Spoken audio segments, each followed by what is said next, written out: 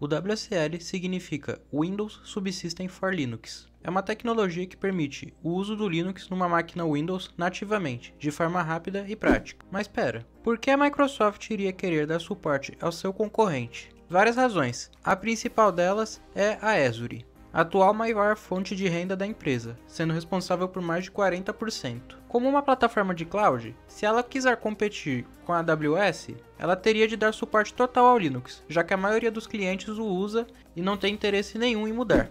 Dessa maneira, a Microsoft não só criou uma forma de usar o Linux de forma fácil e rápida no Windows, como ainda se tornou uma grande financiadora do projeto, sendo nível platina, ao lado de algumas poucas outras companhias. Agora, indo direto ao ponto. Para usar o WSL no Windows, simplesmente abra o PowerShell e rode o comando wsl-install. Esse processo leva algum tempo. Ele por padrão irá instalar o Ubuntu, mas existem outras opções, como o Kali Linux, o Arch e até o Manjaro. O WSL combina muito bem com o aplicativo Windows Terminal, que você pode encontrar na Microsoft Store. Assim, você pode gerenciar terminais como se fossem guias de navegador. Quando a instalação acaba, é só abrir uma nova aba com o Ubuntu. Como é o primeiro uso, o sistema vai te pedir para criar um novo usuário e senha. Faça isso e pronto, um terminal Linux novinho em folha.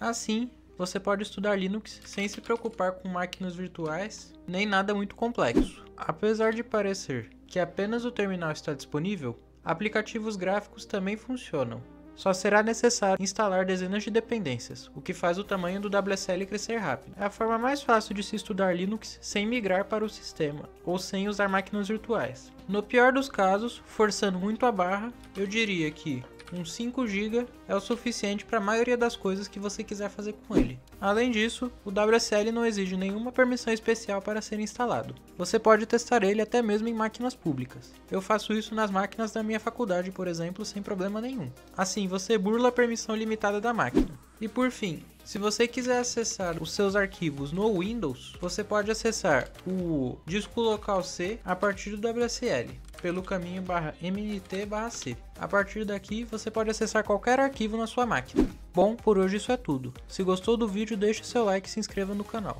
Qualquer dúvida deixe nos comentários que eu irei responder. Até logo!